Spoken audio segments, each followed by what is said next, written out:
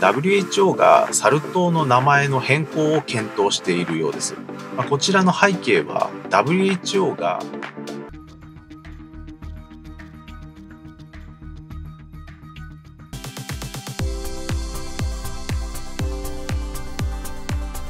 こんにちは、ステラメディックス代表獣医師でジャーナリスト、星吉高と申します。ステラチャンネルは論文やニュースなどから皆様に知っていただきたい情報を選び、科学と理系の視点から動画としてお伝えするチャンネルです。よろしければチャンネル登録をお願いいたします。ステラチャンネルでは曜日ごとにテーマを設定して動画をお届けしております。ですが、サル痘と呼ばれる感染症が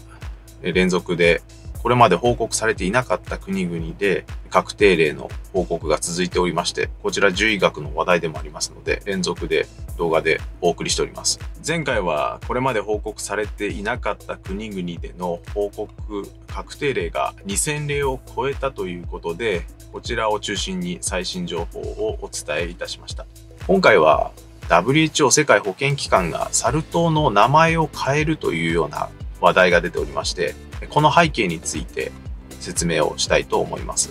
最新のサル痘の発生状況についての情報も最後にお伝えいたします。コンパクトにお伝えいたしますので、最後までご覧いただければと思います。WHO がサル痘の名前の変更を検討しているようです。まあ、こちらの背景は WHO がもともとその病気のガイドラインを持っているということが一つあるということです。こちら、そのガイドラインをお示ししますと、こちら2015年5月に公表しているものですけれども、病気の名前のルールについて定めたものになっています。こちらに表を示しますと、英語で申し訳ありませんが、内容をお示ししますと、病気の名前として含んでいいものといけないものというのを書いています。含んでいいものというのは、例えば、そのどういった年齢層の人がなるかといったこと、またはどれくらいの病気の進みやすさであるかということ、まあ、急性であるとか慢性とかそういう言葉になります。またどれくらいの重さかということ、まあ、重症とかですね、そういうことですね。あと季節のそういう言葉、冬に起こりやすい、夏に起こりやすい、またその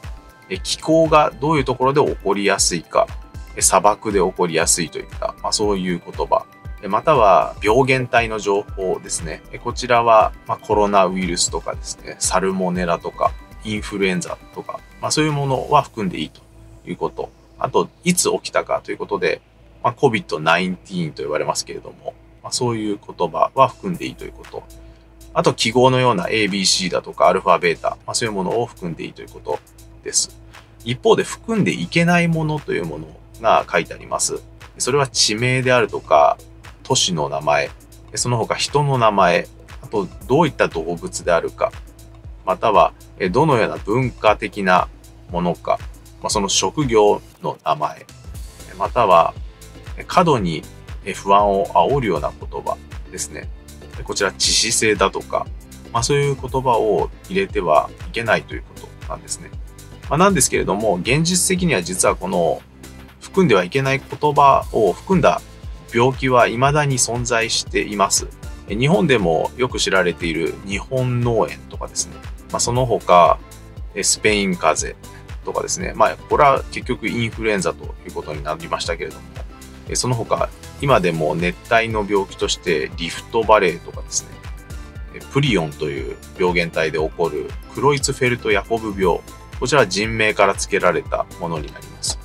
まあ、この他、鳥インフルエンザとかですね。まあ、このように、もうすでに存在する病名の中には、この含んでいけない言葉を含んだ病気というのがありまして、まあ、そういう中に実はサル痘も含まれるという状況になっています。まあ、これまでその含んでいけない病名の病気が、まあ、そのまま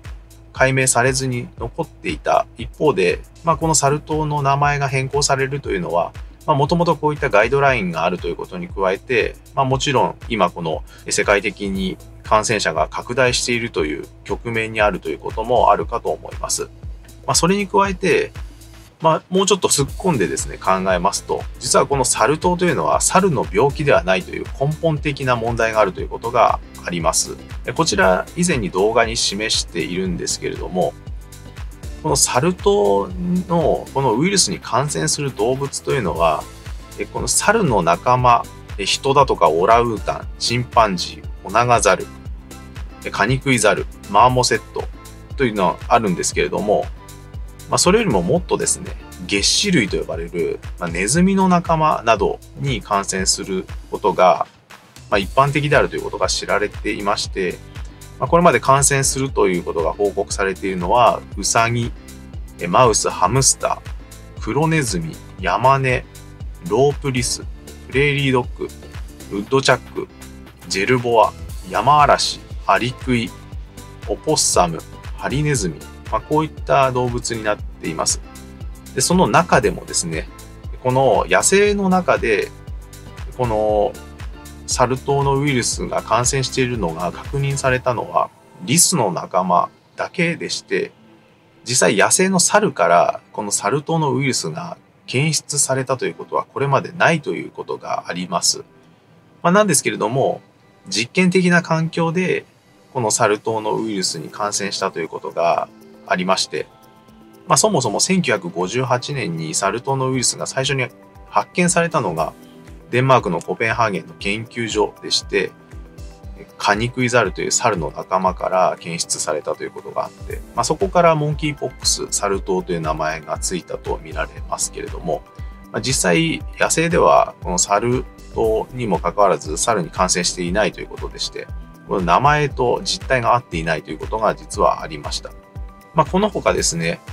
この自然界で血液検査によって調べたところ、まあその他山根の仲間であるとか、アフリカのネズミの仲間とかですね。まあそういったところから検出されたことはあるようなんですけれども、まあ、基本的にはそのリスの仲間が持っているということが考えられています。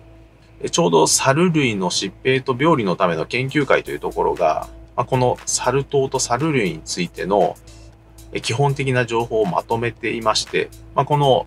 サル痘のウイルスがまあどのように検出されてきたかという、まあ、そういう歴史についても、岡山理科大学教授の森川茂先生がまとめておりまして、まあ、こちらぜひ見ていただければと思いますけれども、このサル痘というのは、意外とその動物の病気として見たときに、実は猿の病気ではないということがありまして、まあ、その WHO のガイドラインも相まってですね、今解明に動いていると考えられます。まあ、今後どのような名前になるかということで、まあ、報道によりますと HMPXV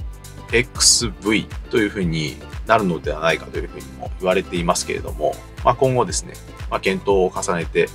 決まってくるものだろうと思います。サル痘の世界での発生状況ですけれども、前回2000例を超えたということを申し上げましたが、さらに感染確定例は増えておりまして、全体で2166となっています。発生が報告された国については37となっておりまして、前回36でしたので、1カ国増えたとなっています。それはルクセンブルクでして、欧州でまた増えているということになります。引き続きこの数字についてもウォッチしていきたいと思います。というわけで今回の動画3点でまとめますと、サル痘の解明の背景として WHO のガイドラインがあるということです。また、サル痘というのはその名前によらず、実は野生の猿から検出されたことはないということでして、もともとウイルスを持っている動物として野生のリスが疑われているということです。また、そのサル痘の発生がもともと報告されていなかった国や地域での感染確定例は2166となりました。この画面しばらくお示しいたしますので、よろしければスクショなどしていただければと思います。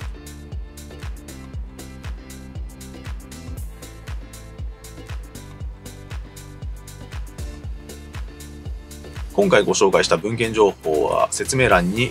お示しいたしますので、ご関心ございましたらご覧いただければと思います。というわけで今回はサル痘の解明の背景を中心に最新の情報をお伝えいたしました。日々動画を公開しておりますので、よろしければチャンネル登録をお願いいたします。皆様の声が参考になりますので、高評価、低評価、いずれでも構いませんので、評価ボタンを押していただけますと幸いです。こんな動画をやってほしいといったコメントもお気軽に残していただけましたら嬉しく思います。ありがとうございます。ニュースの裏側を科学や理系の視点から一歩深掘りするような動画や知識をヒントに明日の生活に役に立つような動画継続的に更新していきたいと思います。よろしければチャンネル登録をお願いします。ヒントになったとかこれは役に立つなと思っていただけたならばよろしければ高評価ボタンもお願いします。